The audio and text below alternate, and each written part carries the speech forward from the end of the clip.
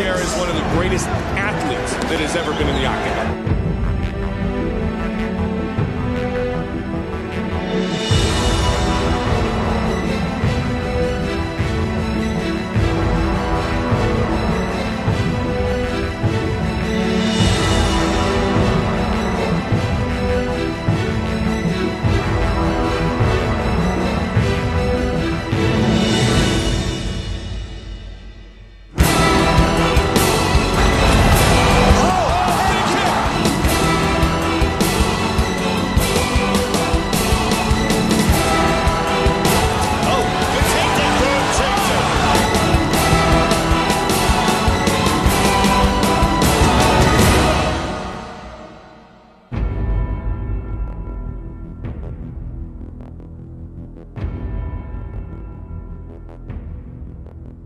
thank you